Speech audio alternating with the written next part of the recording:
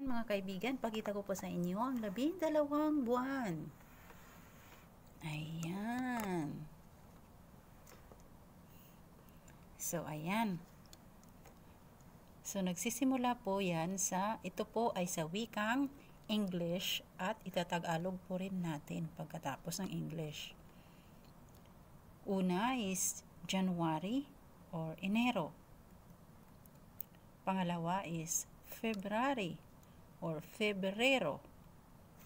Next is March or Marso.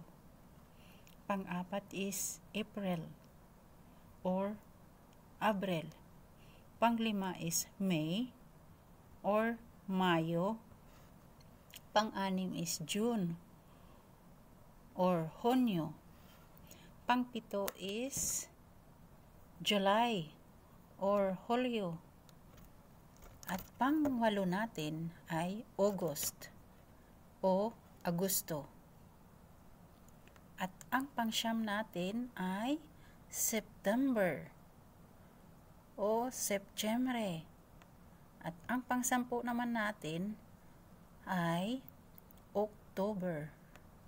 At ang pang labing isa ay November or Nobyembre at panglabindalawa at huling buwan ng taon ay December or Desyembre. So dito sa Alaska, merong apat na season. In English, winter, mula sa January hanggang March o taglamig. At pagkatapos naman yan ay spring tagsibol simula sa April hanggang June. At ang sumunod naman doon ay summer simula July hanggang September. At ang last, ang summer ay tag-araw pala sa Tagalog. Ang sunod naman nun ay autumn. Ang autumn naman sa Tagalog ay taglagas. So ayan, natutunan po natin ang iba't ibang season at ang iba't ibang buwan. Ngayon ay isa-isahin naman natin. Samahan niyo ako pagbabasa. Yan. Ano ito? January. Yay! Next. Pangalawang buwan. February. Ang February sa Tagalog ay, Feb ay Pebrero. Buwan ng mga puso. Ayan. At March. O sa Tagalog ay Marso. Tag-araw yan. Next ay April. Or sa Tagalog ay Abril. Ang susunod naman nating buwan ay Mayo. Ayan. Summertime. Daming mga bulaklak at mga iba't ibang animals na naglalaro tuwing tag-araw. Ang sumunod naman ay Agosto. Ay, wala palang June, saglit lang po. Kasi dito, walang June at July. Kasi ang June at July dito ay break, summer summer break or spring break. Yan. So, June, ang pang-anim, at saka July. So, ang sumunod na niyan ay August. Tapos ng August, nandito naman ang September.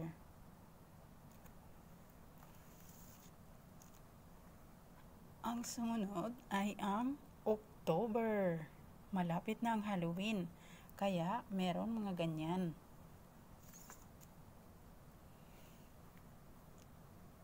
Next is ang panglabing isang buwan ay November o Nobyembre. Nabasa niyo po.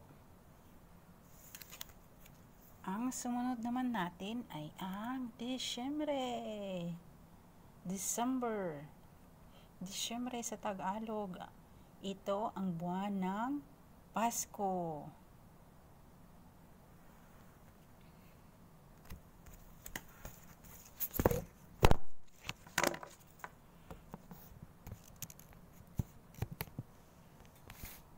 Ayan mga kaibigan.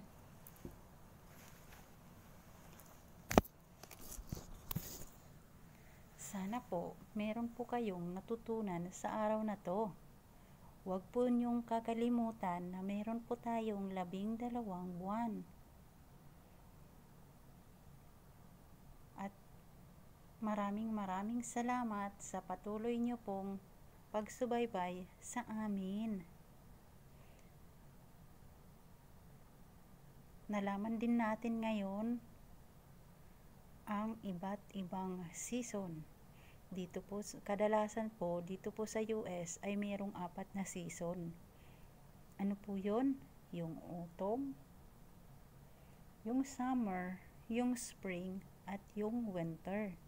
Sa Tagalog, ang winter ay tag lamig. Ang spring ay tag sibol at ang summer ay tag-araw. At ang autumn ay ang tag-lagas. So ayan mga kaibigan, marami po kayong natutunan sa araw na ito. Sa uulitin, paalam. Maraming maraming salamat po. Bye-bye. Hello, hello. Magandang araw mga kaibigan.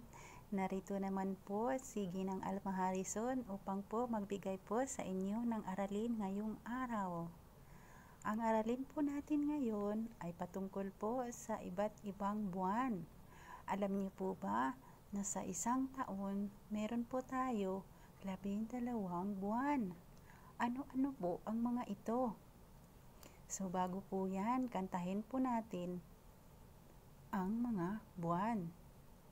Pakinggan niyo po ako at sabayan niyo po akong awitin kung alam niyo po.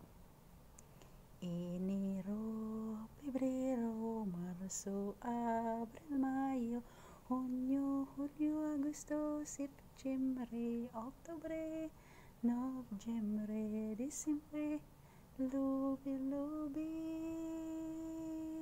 Yay! So, ayan. Narinig niyo po ang iba't ibang buwan. Enero, Pebrero, Marso, Abril, Mayo, Hunyo, Hulyo, Agosto, Septembre, Oktobre at Disyembre. So ngayon, narinig niyo na po ang lahat ng mga buwan. So ipapakita naman po ni Ginang Alma Harrison ang iba't ibang buwan upang inyo pong makita at mabasa. Ito po ay nasa wikang Ingles, pero ito translate po niya sa wikang Tagalog. At bago po yan, gusto ko pong magpasalamat sa lahat-lahat po ng inyong suporta sa patuloy niyo pong pagpapanood, papanood sa mga palabas namin. Maraming maraming salamat. At sa hindi pa po nakasubscribe, please subscribe, like and share po ng aming mga palabas. Salamat po. Maraming maraming salamat. God bless us all.